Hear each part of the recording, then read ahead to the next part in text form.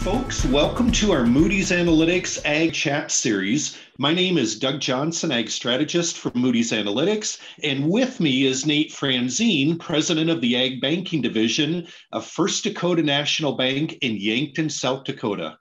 Nate, I really appreciate your time today, and I wanted to do this series as a follow-up to a ag webinar I just did that had over 900 lenders and producers register for. The theme of that webinar was the ag commodity markets and five tips to improve profitability. So today, let's drill down into the art of improving marketing skills for your farm and the journey that takes. Nate, let's break down some of the key points that both lenders and producers can think about to help take advantage of the commodity markets and some tips you definitely need to avoid. So, Nate, the vast majority of producers don't create and they don't utilize a formalized marketing plan. They don't do break even analysis to manage the farm. The concern with that is if you don't know your actual cost of production per acre, how do you know your break evens? And if you don't know your break evens, how do you know when to sell? So, Nate, help us understand how to build a marketing plan and keep in mind everyone starts at a different place on the yardstick. Some have nothing and some have tools they already use. Yeah, great, great point, uh, Doug. And uh, I think you know we're starting this conversation at the right point, and it is what what is your cost of production? What are your break evens, right? And as you state, I think there's a wide variation across the industry of how folks track this, how well they track it, uh, how much they're in tune to it. We certainly have lots of producers out there who uh, track this very well and have systems in place to monitor it. Um, we have others that that uh, you know have lots of room for opportunity to improve their uh, ongoing tracking of cost of production and break evens throughout the throughout the year and throughout the production cycle. And I to me, I think that's the key. um, my experience is most producers track this to some level, um, and they use varying methods from spreadsheets to notebooks, paper to uh, more sophisticated softwares. But um, one of the common things I see out there is um, they they calculate it a few times a year. You know, at the beginning of the season, maybe once mid-season and maybe once at the end and, and a lot of them just calculate it once or twice a year and that's it. And one of the keys to success in marketing in my opinion is it's a fluid plan. It's it's evolving throughout the entire growing season. And so you have to have a system in place where you can be monitoring your cost of production and break even calculations throughout the season because things change right? We may have to apply another application of spray. We may, ha- uh, you know, costs may have changed. Something may have happened. Um, we're monitoring what we think yield could be and, and will be, and that obviously changes as the crop matures and we get closer and closer to harvest. All of those things help us make better marketing decisions, and so I think that's that's really critical. It can't be just a once or twice a year check. It's got to be uh, ongoing uh, real time as, as real time as possible as you know factors are changing for you out out on your farm. Nate, that's a great. You made really good points here. One of them is don't build it and put it away. You've, I think you've got to ask the. Everybody has to ask the question: Who are you building a marketing plan for? Is it for the farm, or is it for the lender?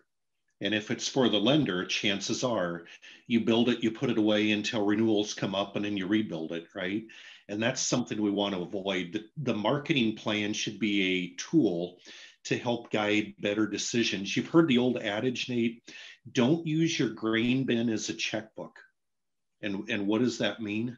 So when the bills come due, I go sell a load of corn and I pay the bills, has nothing to do with where the price of commodities are at what I think the future of agriculture, the long term sustainability and success, is going to be measured on the profitability, not just being able to pay the bills. Nate, I have a question for you here, too.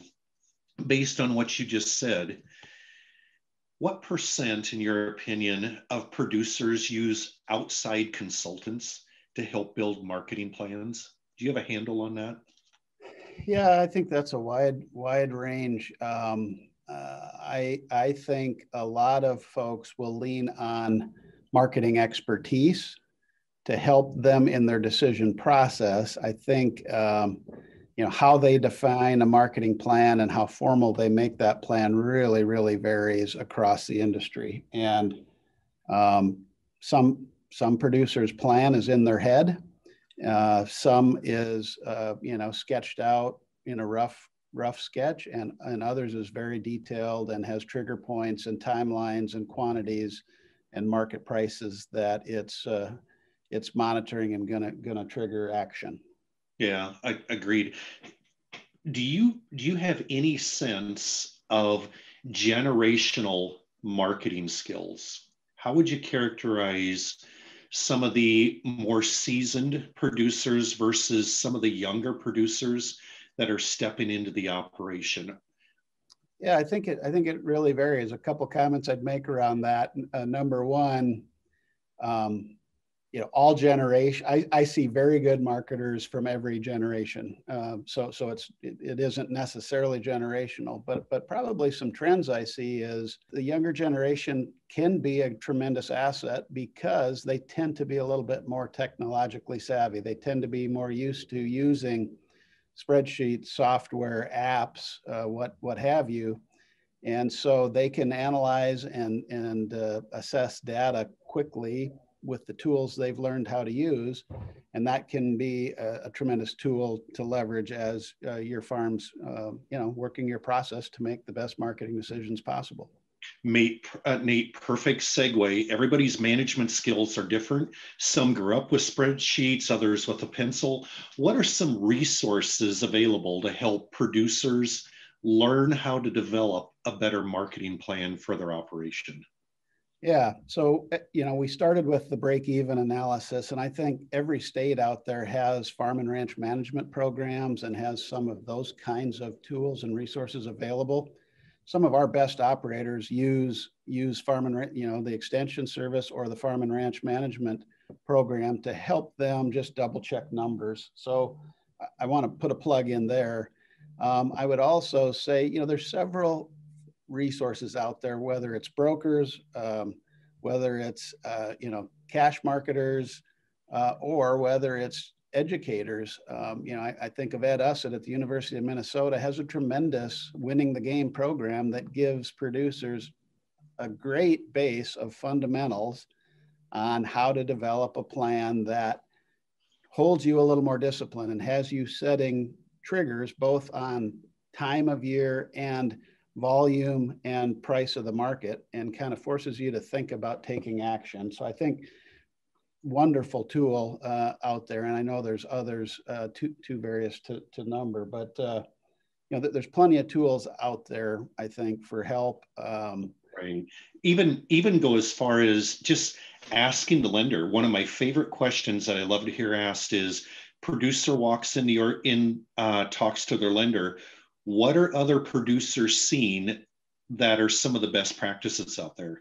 Nate, you look at all of your lenders and the depth of producers that they work with, and think about the story that they could even share with producers. Here's some trends we're seeing that are really working well.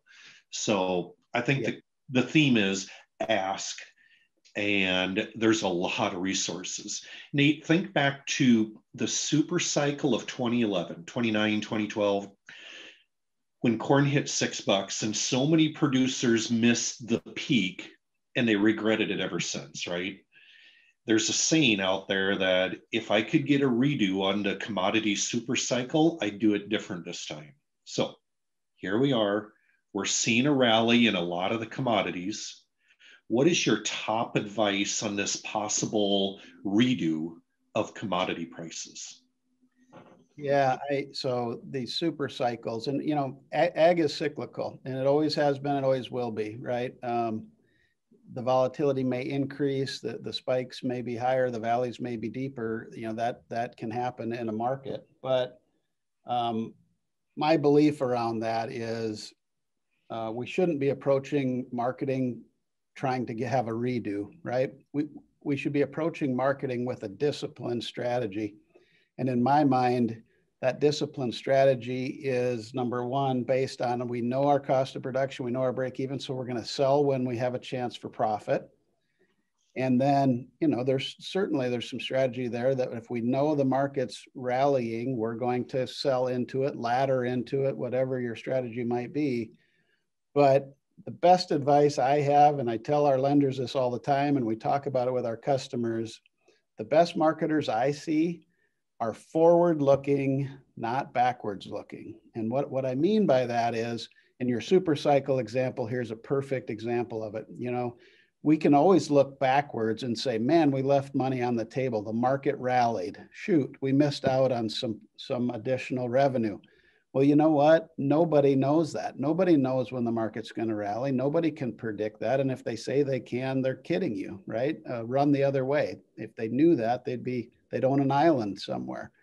So, what marketing is all about is having the best information at a point in time, making a decision at that point in time, and then not looking back, look forward from there. Now, look to the next marketing decision. And um, the folks that struggle with marketing the most, in my opinion, they continually are beating themselves up about prior marketing decisions. Oh, spot on, Nate. what happened happened, and you have to continue to move forward. Throw the rearview mirror away, and and drive forward, not drive backwards. Nate, in one minute or less, what is your single most important piece of advice for any producer and lender listening? Well, I think it's what I just said about looking forward and not backward. And I'm going to, I want to end with the thought around the lenders. And I have to remind myself and our, our ag banking team here this all the time. We can, uh, you know, the super cycle was a good example. We might be looking at an operator and go, man, they should have made more money than that based on what the market did. And then we look back and go, well, but you know what? They followed a disciplined marketing plan and they sold into it and they made money. And so, they they did what they were supposed to do. We we can't critic we can't be critical of our clients um, when they miss out on a rally. Uh, we have to we have to encourage a disciplined approach, and if they're they're doing that disciplined approach, we have to be uh, be uh, right there alongside them and commending them and uh, knowing that if they maintain that disciplined approach, they'll catch more of the next rally. That is so well articulated. Uh, I want to thank you for your time today and for sharing your insights. I really appreciate the disciplined strategy concept and the looking forward, not driving backward approach. To all of our listeners, I can't emphasize enough the value each one of you brings to our ag industry. And we all need to take steps to ensure success and sustainability for our future my roots personally they run very deep in agriculture with our fourth generation family farm and building for the next generation is why we do what we do. I want to thank everyone for tuning in and for your support of helping to keep farmers farming and ag lenders lending. This is doug johnson from moody's analytics and be sure to join our next moody's analytics ag chat series. Thank you very much